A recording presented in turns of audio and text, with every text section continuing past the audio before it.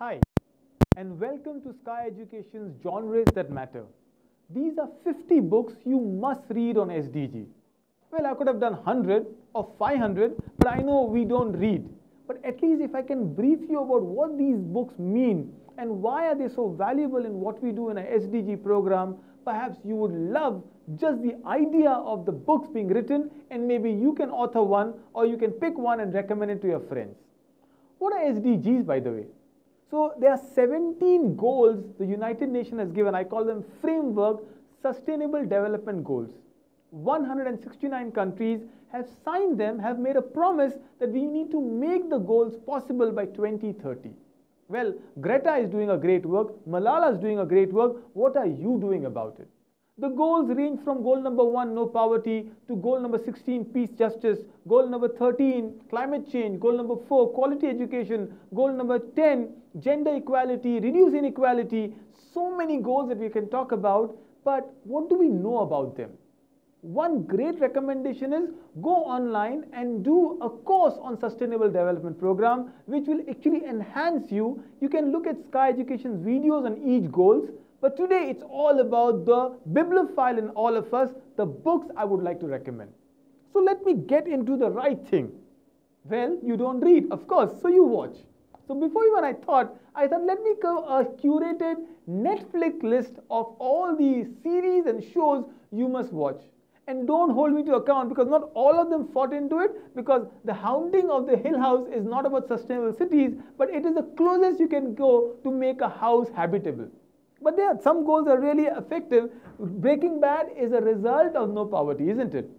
You have no poverty, it leads to crime, which is a very clear logic. So this is a fun diagram I did on Netflix. Again, we all have to collaborate for the goal that there is this Umbrella Academy. If you haven't watched them, some are very, very relevant and powerful. For example, when you look at goal number 10, reduce inequality, Dear White People is a show you must watch.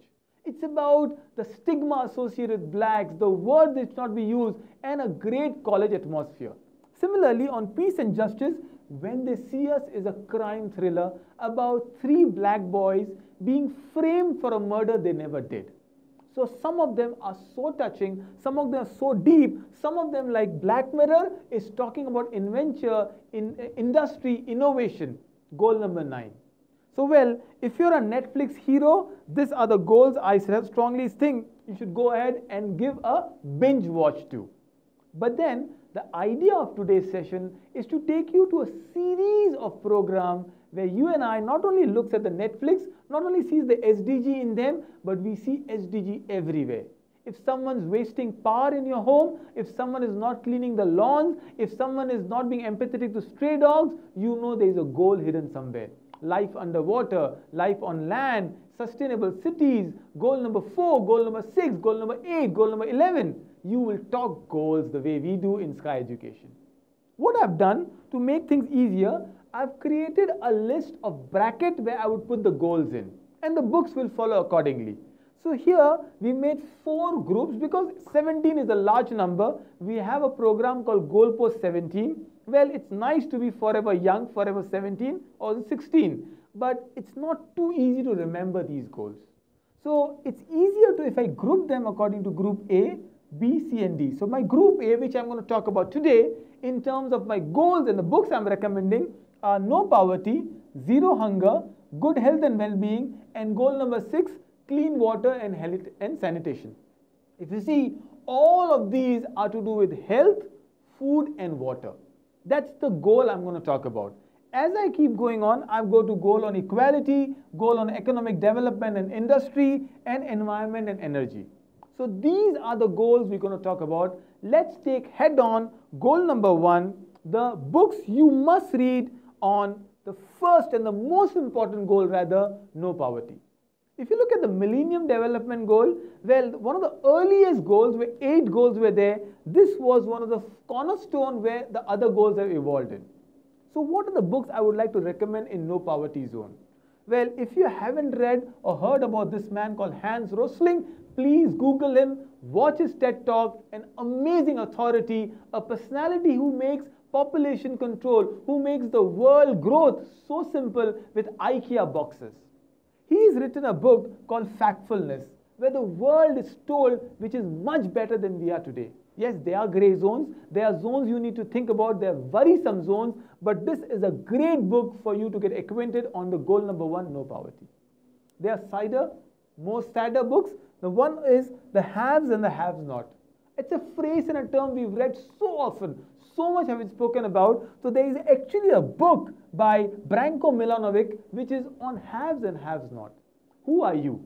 There is a session we did on no poverty where we said if you are able to take hot shower every day, you can eat a good breakfast, you've gone out on entertainment at least once in a month last time, and you were invited or you invited somebody for a birthday or a party last one year, you are in the haves, you are a rich man. This is a great book to teach you what you are actually not missing out on. Another book is about the slavery. It's called Enslaved, the true stories of modern day slavery.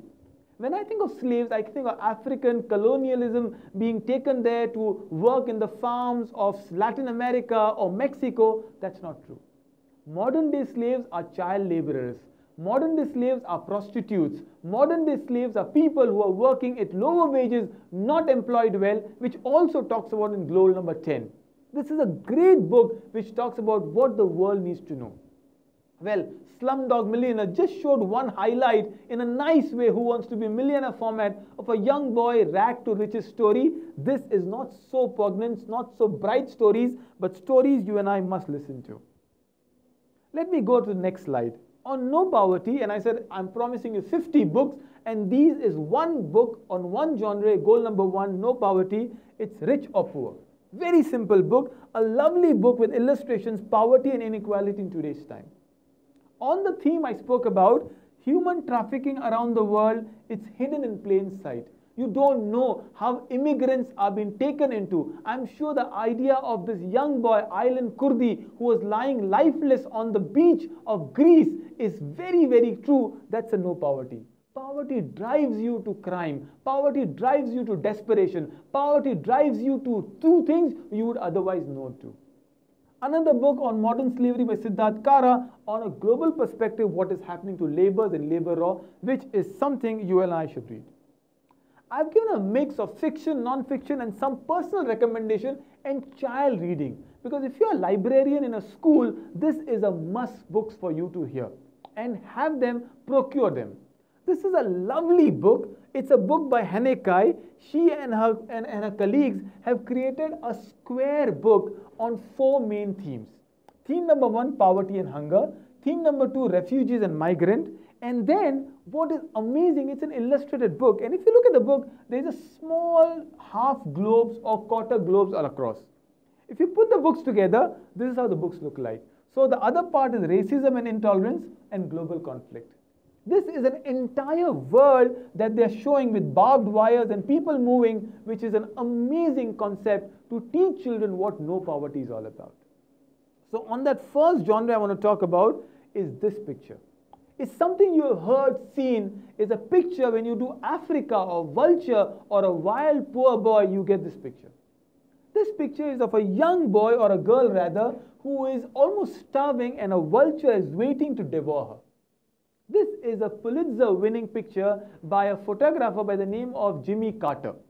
Jimmy Carter is a South African photographer and he took this picture at the dying moments of the girl who was actually going to a can of rubbish where some food could be there.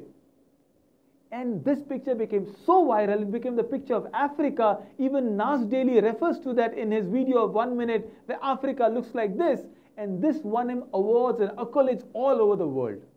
But this also led him to depression. So this is Jim Carter, and Jim Carter committed suicide after three months. He realized he was what I call the bystander effect. He was standing there, he was seeing, perhaps there were so many children and vultures around, he just wanted to take a picture, the perfect picture, but he could not live with himself after seeing what he has done to the world. He did not save a soul. I think you and I are equally responsible being bystanders. You and I see poverty across us. You and I see desperation and crime leading because of poverty, and we do nothing about it. the least we can do is join us and make it a wide phenomenon. Talk about poverty. Let the no poverty goal number one become one of our goals. You can be a participant in a community fridge or a drive for food or clothes because these are what these girls and boys need. Again, no poverty is not just about poor, it's also about human trafficking up for sale. Look at the eyes, look at the girl, and this is, I think, I leave you with this because this is what I want to give you on what no poverty is about. It's one of my favorite topics, so I'll give you a lot of books on it. My last slide on something you would have read, a contemporary fiction, is a book by Khaled Hosseini. I've loved his series, The Afghan Born Immigrant Author. And this book, one book, if Kite Runner is beautiful, the movie is very nice, but of course the books always rule. But this book and The Mountain Echoed is amazing. It talks about immigrants, desperation, war, and the beautiful Switzerland of Asia, Afghanistan, and what it became under the Taliban. And this is a book about actually poverty. The story of Pari, Amir Agha in Kite Runner, and then his third book, which all of them and the mountains echoed, is a book you must read. Then there is another book called Scroll. It's about a child being bullied. Lovely book. It's a novel. These are fictions I'm suggesting because what kind of genres you like to read. And then there is a book called And Now is the Time for Running. This is a book, you can see the barbed wires and football, so you can see the theme about it. Children playing, but then they have to escape poverty, the clutches that are going to grab them. Really beautiful book. Another book I recommend, a place called Here. It's about hope, it's about dreams, it's about people who would like to talk about. And this is my reading list for the goal number one on SDG, no poverty. I hope you take up the stand and read one of the books. Share your suggestion on what else can I add to it. I told you there's so many books. I picked my favorites. Perhaps you can add more to what we can talk about. This is our first genre, goal number one, no poverty. Happy reading. All the best. Thank you very much.